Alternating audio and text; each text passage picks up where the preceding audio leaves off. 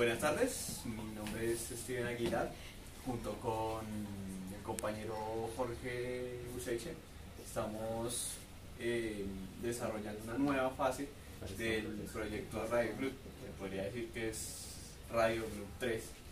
Eh, pues en este siguiente video se pretende explicar eh, pues en qué consiste a grandes rasgos, Radio Club, eh, para qué sirve Radio Club, qué es Radio Club y pues un- una breve presentación de qué avances se han hecho eh, con Radio Club hasta ahora.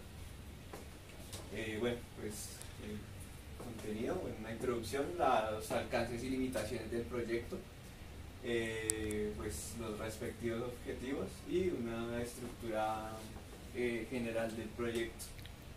Entonces, eh, bueno, pues el principal objetivo de Radio Club, la principal misión de Radio Club es no solo hablar de software libre, también es eh, tener eh, gran variedad de contenidos, ya sean de la universidad o cualquier tipo de asuntos que se puedan tratar por eh, radio y que pues obviamente sea agradable para los radioescuchas que se tengan.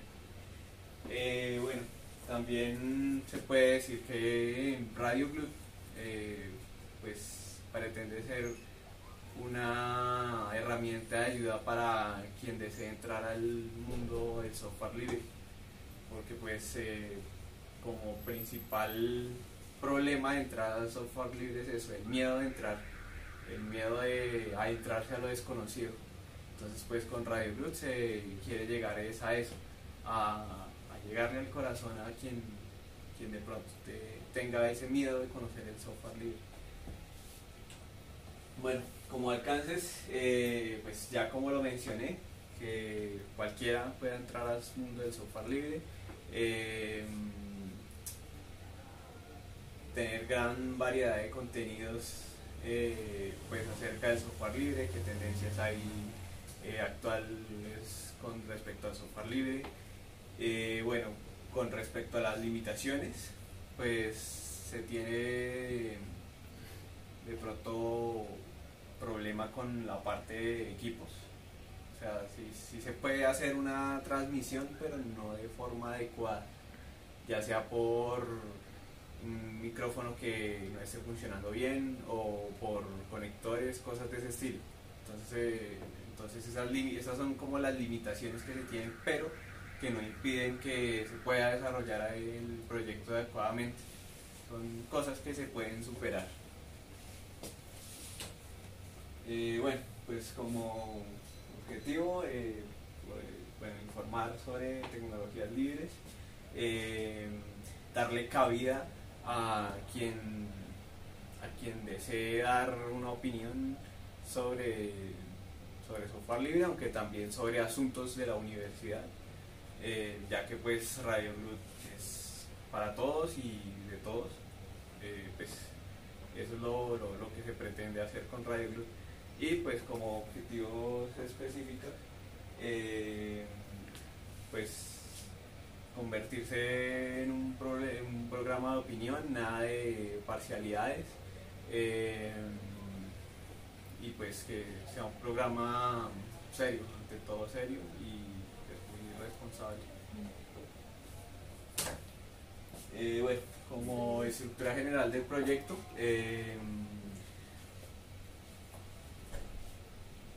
bueno, ya hablando más que todo de los avances del proyecto, pues estuvo configurando eh, un servidor en Amazon. Tenemos, bueno, ya hablando técnicamente, tenemos 0,615 gigas de RAM disponibles en nuestro servidor. Aproximadamente se pueden conectar entre 50 y 75 clientes sin, sin mayor inconveniente. Eh, pues ya que pues, esa, la universidad pues muy amablemente nos dio esa, pues, esa, esa opción, ese, ese, espacio pues nos, nos sirve para asegurar esa, que, ese número de clientes se puedan conectar a, pues, al, a, a Radio Blue y puedan pues, hacer de audio escuchas. Em, bueno, ¿qué más? Eh, estuvo revisando? Pues configuración de Icecast, de Jack, Jack Audio Connection Kit. Y eh, pues una, se hizo un programa beta de prueba pues, para ver el estado de los equipos, cómo, pues, cómo están y pues si alguno está en mal estado, estropeado, dañado, pues tener, tomar, tomar acciones para solucionar ese tipo de problemas. Eh, pues ya dando a grandes rasgos de la estructura de Radio Blue, eh, pues por favor siga el compañero Jorge. Ya, ya, ya terminó la diapositiva. Sí, señor. Bueno, buenas tardes. eh, mi nombre es Jorge Luis Useche. Pues voy a hablar un poquito de cómo es el, el proceso pues mío acá. Pues yo soy actualmente el director del club y el único proyecto como que en el que estoy metiendo en la ficha es actualmente Radio Club. Mi parte más que todo es hacer como el empalme de las versiones anteriores de, de Radio Club a las nuevas generaciones. Sí, en este caso Steven, que pues ha sido el, el- el que ha eh, como simpatizado con el proyecto y le ha gustado pues la idea de hacer una, una radio comunitaria. Eh, en este caso la radio comunitaria pues solamente sería para los estudiantes que estemos acá en, el club y pues de, pronto otro espacio más eh, para, para las personas que, que estén como interesadas en el software libre o en, ideal, en ideologías libres. En este caso, eh, yo me voy a especializar en la parte de generación de contenidos. Como tal, hay varios programas que se instanciaron antiguamente. Es volver a, a comenzar a hacer eh, programas en cuanto los servidores estén pues en óptimas condiciones, los clientes que se van a utilizar también estén en óptimas condiciones para generar eh, un audio o una, un streaming de, pues de, de- de la mejor calidad que, que- que podamos, ¿sí? teniendo en cuenta pues, las limitaciones que nos hablaba Steve. Em, como tal, eh, la única innovación que, que como que he propuesto es la generación de contenidos más dinámicamente, o sea, no solamente enfocar, enfocarlos a una preparación previa, sino hacer programas que estén sometidos a, a una espontaneidad, ya que eh, a pesar de que uno cree que no puede hacer programas, la gente tiene mucha información que no se comparte porque, digamos, les da pena eh, eh, hablar en público y todo eso, pero la- en realidad la, la espontaneidad rescata muchas veces eh, ideas que, que puedan ser valiosas pues, para la, la comunidad. Entonces es como rescatar esas cosas, eh, que, que entre todos leamos un libro, hagamos la discusión de ese libro y todo en esa espontaneidad que genera ideas pues como tal que, que puedan ser muy provechosas tanto para los que hacen el programa como para los que escuchan esto. Entonces pues eh, nada, Radio Blue.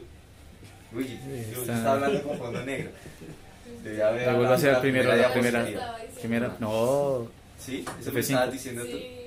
Bueno, por allá escribieron como, pro- ¿cómo es? O- o- objetivos. Objetivos. Vamos con los objetivos. Entonces, e- ese objetivo que se le está dando esa nueva cara para que se reactive ya que como comenzamos a hacer proyectos en conjunto, no se pudo eh, hacer que Radio Blue pues tomara esa fuerza que, que realmente eh, necesita pues un proyecto como tal de esta envergadura que es un trabajo, una generación de contenidos que debe ser pues bastante ardua para que realmente funcione. Entonces los dejo ahí y hasta luego.